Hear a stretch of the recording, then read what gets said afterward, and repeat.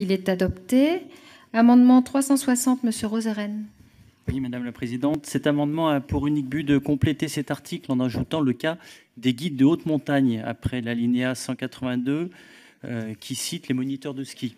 En fait, on a vu leur situation similaire, un traitement similaire doit être opéré entre les guides et les moniteurs de ski.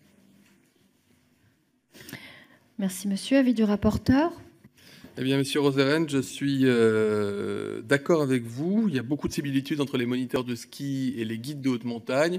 Donc, je donne un avis favorable à votre amendement.